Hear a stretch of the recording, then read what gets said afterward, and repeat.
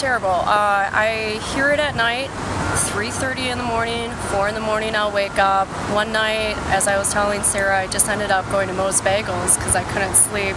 Came back and they were still doing construction. Uh, I wake up in the morning to hearing construction and as you can hear right now, the construction is still going full force.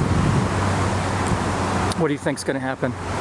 Uh, well, now that the news is involved, perhaps uh, maybe they'll cut down on their night hours. But other than that, I just feel that they think they can do whatever they want, especially since Mortensen was a CU alumni.